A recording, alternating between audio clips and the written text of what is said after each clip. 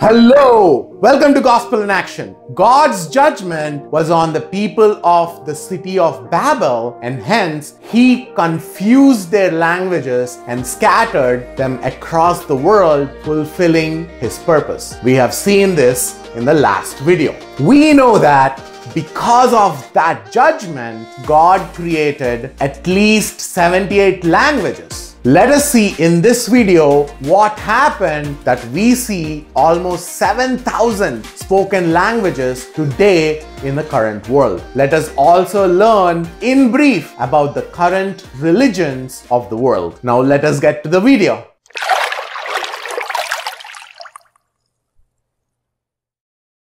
If you are a first time visitor, then I request you to please hit that like button to support us with this mission. If the videos are helpful, please subscribe to this channel and hit the bell icon to not miss another video. Note that the subscription is free. As I said, Currently, there are approximately 7,000 spoken languages in the world. Languages do change over time and yes, all these 7,000 languages originated from God, who is the originator of the first language. How is that? We know that from the first language, approximately 78 languages originated because of God's judgment on Babylon the world at that time. So, apart from the first language of God, God created at least 78 new languages as a result of judgment on the people of the world. This is the second major judgment after the global flood that affected all the inhabitants of the world at that time. According to the book of Revelation, the third judgment should be the final judgment of God where he would annihilate every wicked person and save only those who are righteous in his sight. Note that righteous does not mean sinless. Every man is born with sin and that cannot be changed. However, there were righteous people throughout human history who acknowledged their sins, sought forgiveness from their Creator, and walked with God through faith. In the new covenant, we know that Jesus' sacrifice provided a permanent way for all people to walk with God in peace forever. Only the righteous people with non hypocrite hearts who claim the death and resurrection of Jesus Christ for themselves will ultimately be part of the new earth and the new heaven. Anyway, out of all the present 7,000 languages, there are several languages today that comprise a single language family. And of course, the total of all these language families would be around 78 when traced back to its roots. This means that all the languages we have today are inherently part of only those 78 languages which God created originally as a result of His judgment. Let us learn about this in some detail. Let us read Genesis chapter 10 and verse 25. To Eber were born two sons. The name of the one was Peleg for in his days the earth was divided, and his brother's name was Joktan. This verse indicates to us when exactly the earth was divided and what is the first language of our world. The first language of the world, that is, God's language, had no name until Eber, who is the great grandson of Noah's son Shem. So they had to name the first language as now there are many languages and they named it after Eber, the elder in the city when the earth was divided. Eber and Hebrew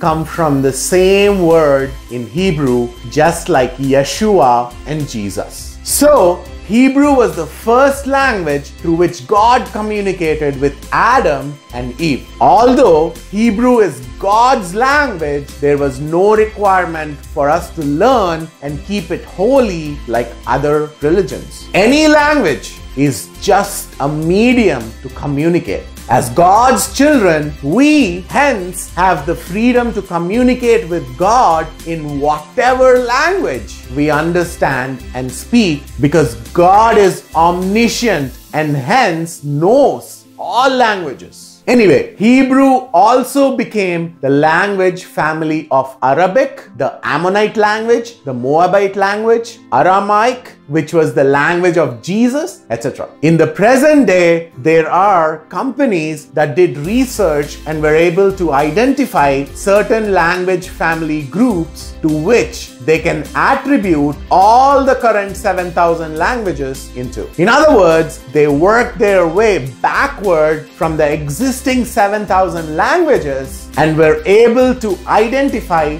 several root languages. To the scientist's surprise, the Bible is pretty accurate because the estimates according to VistaWide and Ethnologue companies are 94 and 120 respectively.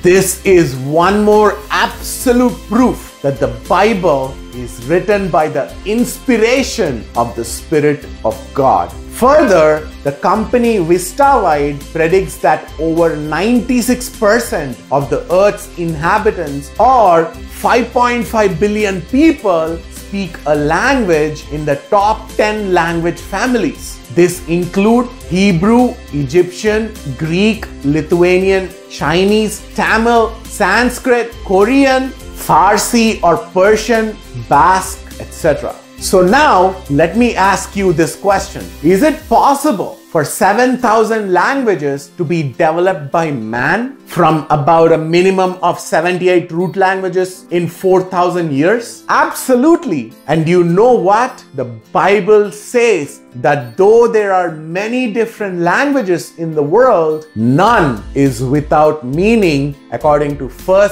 Corinthians chapter 14 and verse 10. This actually means that God has a purpose on why he allowed these many languages to exist. Incredible, isn't it? However, the sad part is that man is slowly destroying this diversity that God has created. God intended all people to diversify the earth and live within their nations and not interfering in the affairs of other nations. As I said, the whole world is becoming smaller and smaller as man makes strides in technology. Ever since English was forced to be the first language of the world, because of the British colonization across the world, communications with other nations and other cultures have become easier than ever before. This was made much easier with the advent of the internet. The world will become even smaller with the arrival of Internet of Things and virtual reality. Advances in transportation will make it possible to travel from one end of the world to the other end in just a few hours. It would not be an exaggeration to say that within the next two or three generations, the world will again come to the sinful state of Babel, where the world will be ruled by one government speak one language and build something analogous to the Tower of Babel to show their pride and defy God together once again. Just like how the second judgment fell on the ancient city of Babel, the third and the ultimate judgment of God will take place before man's plans of pride and identity come to fruition. However, the righteous people living in this world, like us, will use the language for the expansion of the kingdom of God on earth. Even the apostles did the same during their time. The whole New Testament was written in Greek, which was the language of the majority of the world back then as they were living in the Greco Roman civilization. Whereas the New Testament could have easily written in Hebrew or Aramaic, but the message of the gospel must be outward focused and must be reached to the people living even in the ends of the earth. Who knows? We may even use the virtual reality technology to disciple the people living even in the remotest places of earth. Anyway, along with these languages, people began to assume gods and began worshipping them, thus forming variety of religions across the whole world. Most people used the name of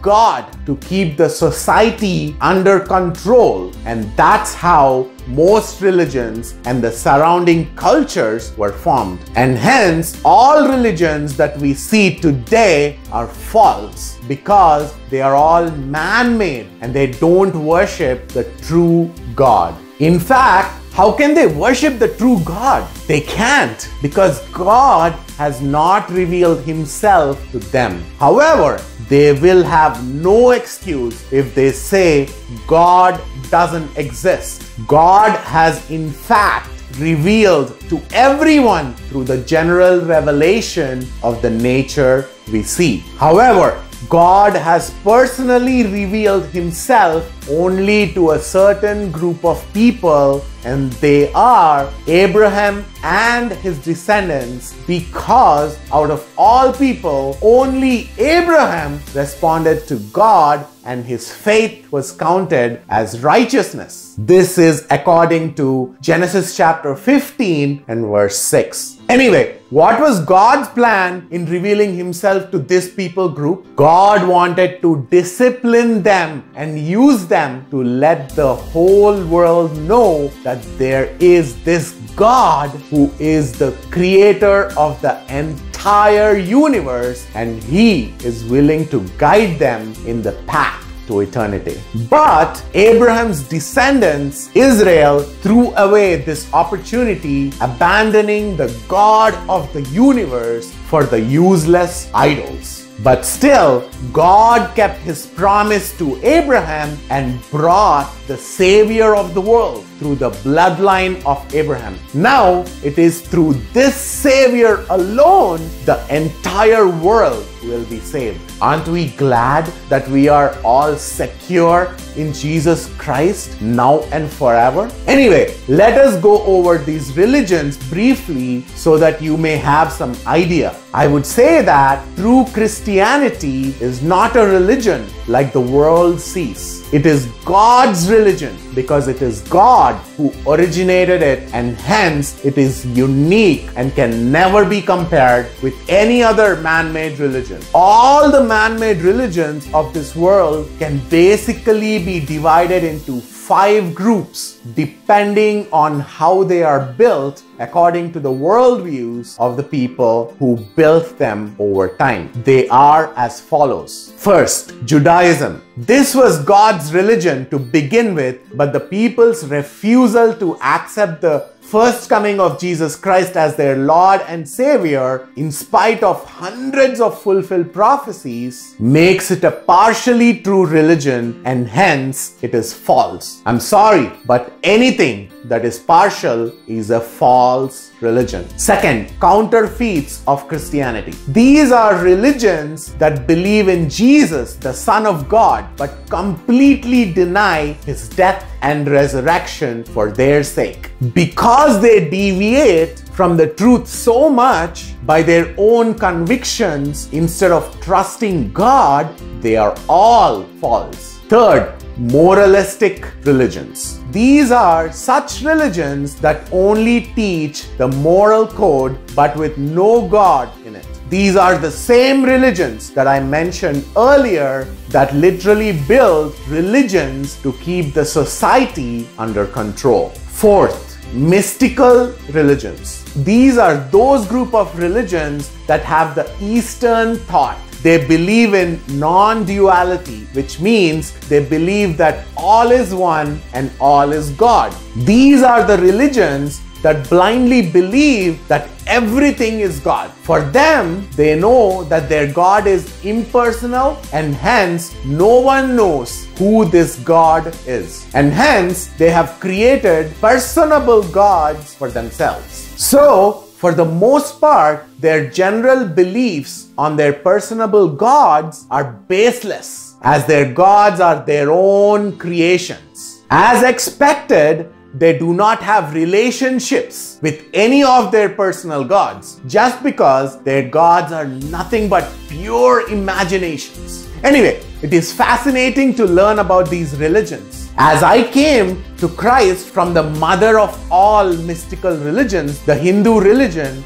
or commonly referred to as Hinduism, I would like to explain the Hindu religion's origins and its beliefs in much detail from the next video. And lastly, 5. The materialistic or atheistic religions. They don't refer themselves belonging to any religion, but these are people who outrightly deny the existence of God or would say that God exists, but he doesn't care about us, and so we don't care him. They are secular humanists, atheists, agnostics, hedonists, Epicureans, etc. Modified agnosticism is in fact the most prevailing religion in America and in almost all developed countries. Anyway, let us end this video here and when we come back, as I said, we will talk in detail about the mother of all mystical religions, the Hindu religion or Hinduism and its origins. Remember, this series is done with a lot of research and preparation. Do you know why? Because God loves you and so do I.